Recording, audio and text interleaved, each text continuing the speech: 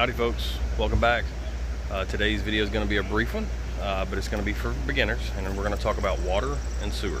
Two things, really quick, uh, and it's some important guidelines and some important things uh, that you need to know, especially if this is your first time uh, in your GeoPro. This also applies to a lot of other campers out there too. So follow along, here we go. Uh, again, product descriptions for the items you're going to see in this video are going to be right down below. Um, and you're to need pretty much all of them. So uh, whether you get them from the links down below or you get them somewhere else, you're to have to have them. So here we go. All right, first things first, we're to talk about these two valves here. Gray water, black water. That's your toilet. That's everything else, uh, where everything else drains is this tank in your camper. Gray tank, black tank, gray tank, black tank, okay? You can see I've got my gray tank open.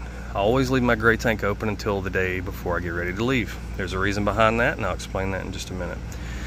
What you don't want to do, um, you're to have to, like for me, for example, if I'm out here for a week, I'm to have to empty this black tank a couple of times while I'm here. So while I do that, though, I don't want to leave that guy open because this water is to flood back up that line. Sorry, it sounds like we've got somebody making camper repairs in the background. Disregard that. Uh, anyway, so I'm to close this guy to empty this guy. So here we go.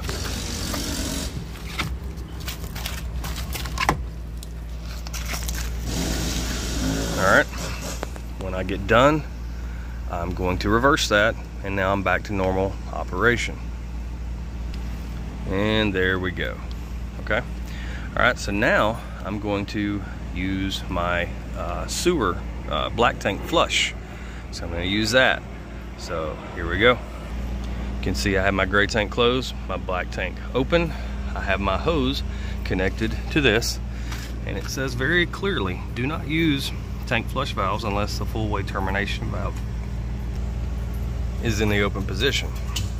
The reason behind that is if you leave it closed, this guy, and you use this, your water will ultimately, at some point, if you just let it go, flood out of your toilet. So that would be bad.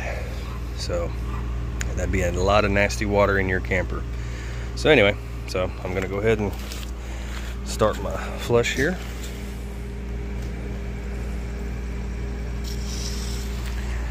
And it's gonna make weird little spinny noises. Um, as a general rule, I don't leave this sitting by itself. So it's just my rule. I'll, I'll watch it uh, until it's done.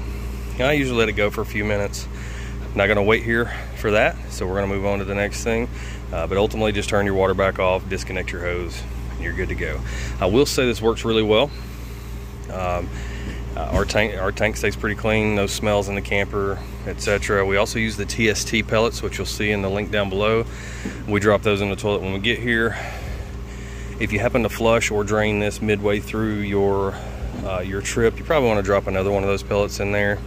So basically, every time you drain it, drop another one of the pellets in there afterwards. Um, here's my sewer hose, my fancy two-piece sewer hose, along with my little incline for the sewer hose. You can see it keeps it nice and solid, and it doesn't dip down right here uh, at the connection. So that works really, really well. Uh, I would advise that's kind of an essential. Uh, depending on, it always depends on the campground. Sometimes you don't need it, sometimes you do, but it's always nice to have it. All right, now we're over here on the freshwater side. So right here you can see I've got my filter, I've got my little 90. Uh, more and more often I find myself connecting this here instead of over there. Um, and the reason being is most times those are too low to the ground. So my filter don't, doesn't really work over there. So I've just been connecting it here. Yes, it puts a little extra weight up here. Um, but generally speaking, it's it works. So city water. So if you've got water supply at your campground, that's where you're going to connect your city water to this guy. It's the same on every single GeoPro camper, maybe in a different location, but this looks exactly the same. Here is your freshwater tank. So if you don't have city water and you needed to fill your water at the house and take it with you, this is where you would put that water at. All right. This will not work. Your water will not work unless you turn the pump on inside and it says water pump. So turn that on with this tank full and it will operate. This here is for winterization. So this is where I would hook a hose to, put it in a bucket full of antifreeze, turn my pump on, and then run the antifreeze through my lines. Um, once Um, I go to each faucet open and get a little bit of pink out of it, both sides, a little bit of pink out of it. You know, kitchen sink, bathroom sink, shower, toilet. Once I do that, uh, then I turn my pump off and I'm winterized. What you don't want to do though is do that before you close the valves on this. Uh, there are videos out there for winterization, but that's pretty simple. Close your two valves, uh, top and bottom, on the inside. It's inside your camper uh, to the backside of your water heater. You don't want to run antifreeze through that. But also to winterize it, you have to pull the anode out, which is this little guy. And there's, uh, I think I've got the sizes listed somewhere on one of my videos, but I'll put them in the link below. Uh, the size sockets, you're going to need to do that as well. Um, and keep that on board. So that's pretty much it.